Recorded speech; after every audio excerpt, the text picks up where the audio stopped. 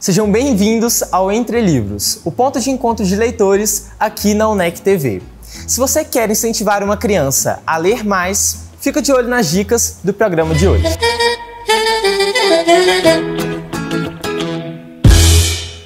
Atualmente, as crianças já nascem mergulhadas em um mundo de tecnologia. Sendo assim, é um desafio inseri-las no mundo da literatura.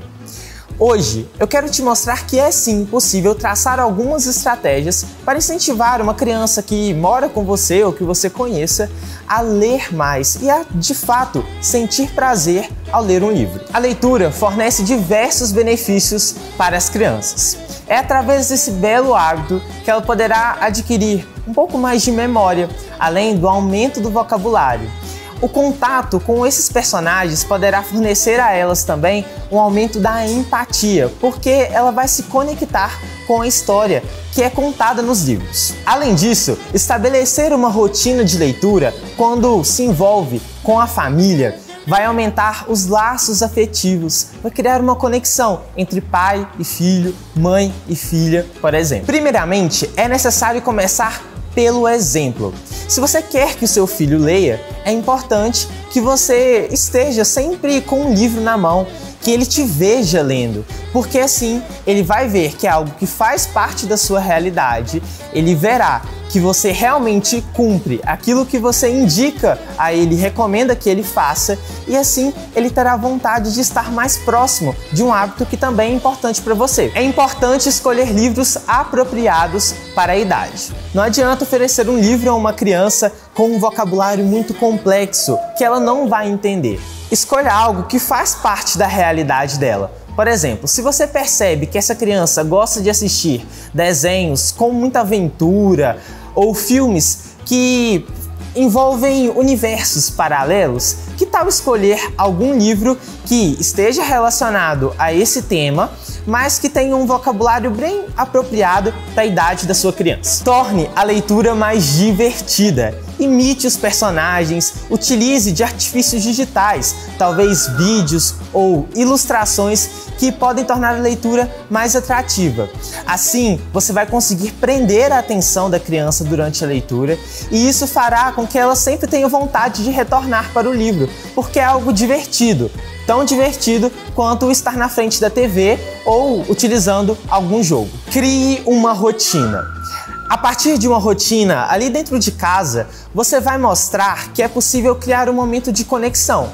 Já pensou se você todos os dias, antes de dormir ou antes de colocar o seu filho para dormir, estabelecer o hábito de ler para ele algumas páginas, alguma história? Isso aumentará a conexão entre a família e também fará com que a criança crie o hábito da leitura. Assim, sempre que chegar a hora de dormir, de dormir ela se lembrará de pegar um livro e iniciar a leitura de uma nova história. Não saia daí! No próximo bloco eu vou indicar alguns livros que certamente farão a diferença na leitura dentro da sua casa. O importante é motivar a criança para a leitura, para a aventura de ler. Ziraldo.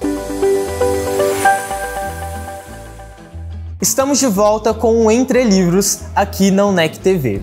A infância de muitas pessoas foi marcada pelos livros do Ziraldo, o autor do Menino Maluquinho e de tantos outros livros como Uma Professora Muito Maluquinha. É fato que essas histórias mexeram com o imaginário de inúmeros brasileiros.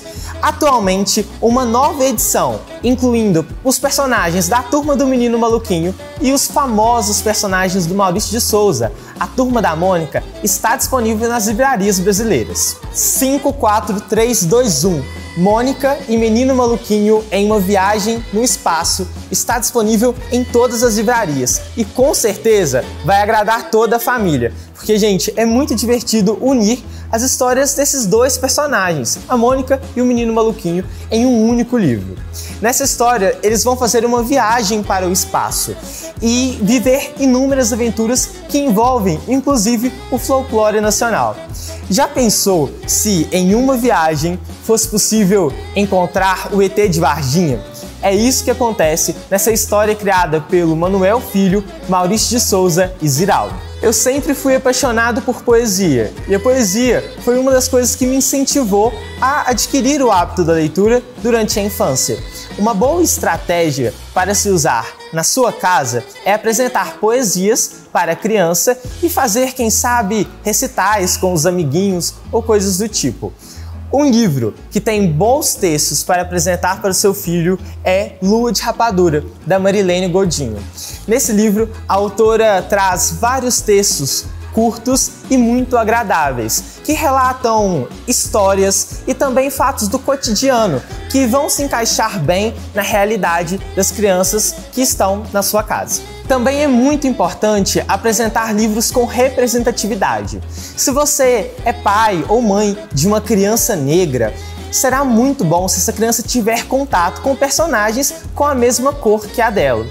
Pensando nisso, Emicida e alguns outros autores criaram livros com essa temática. Às vezes, livros que não falam necessariamente sobre cor, mas que trazem protagonistas negros que certamente marcarão a infância da sua criança. E foi assim que eu e a escuridão ficamos amigas. E Amoras são alguns dos títulos que têm feito muito sucesso entre as criançadas e que têm alcançado públicos cada vez maiores, justamente por trazer histórias que são muito próximas à realidade das crianças e por trazer personagens com muita representatividade. Emicida é um famoso cantor que agora se aventura também na escrita e que tem feito isso com muito maestria, já que os livros estão fazendo muito sucesso, não só nas livrarias, mas também nos rankings de mais vendidos.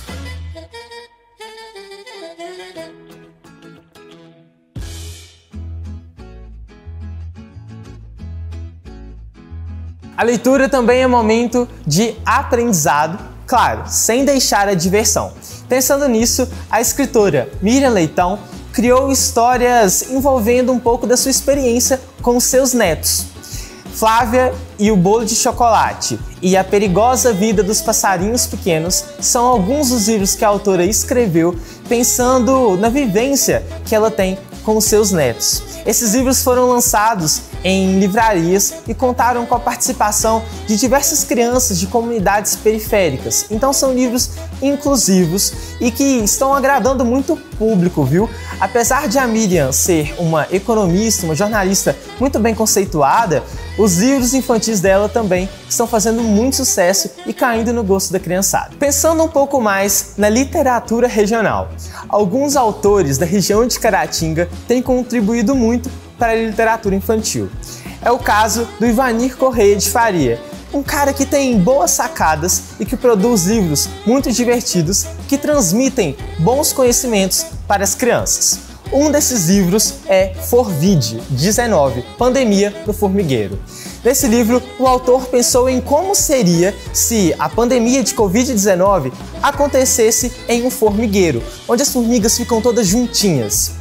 O autor fez então uma história cheia de conhecimento assimilando a fatos históricos, atrizes, cantores, pessoas muito marcantes e que são importantes que as crianças conheçam e desenhos que as crianças podem colorir. O Ivanir também é autor de outros livros, como A Menina do Adeus, que vai fazer reflexões sobre a vida e que é um livro não só para as crianças, viu? Mas um livro muito agradável também para os adultos.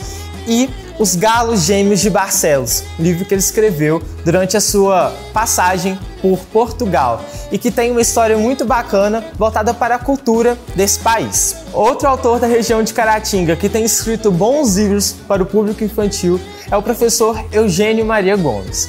Alguns desses livros são Sou menina e posso ser o que eu quiser e Peter, a estrelinha. Bruce, o imbatível, Perigo Eterno foi um dos primeiros livros que eu li.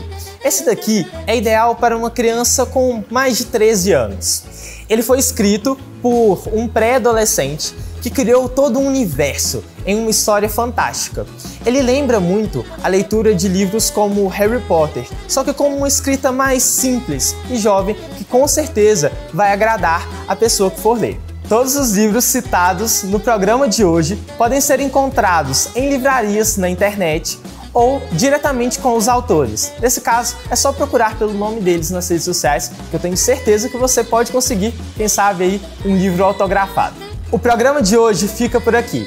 A gente se vê na próxima semana com mais dicas de leitura. Até a próxima e fique ligado na UNEC TV. Tchau!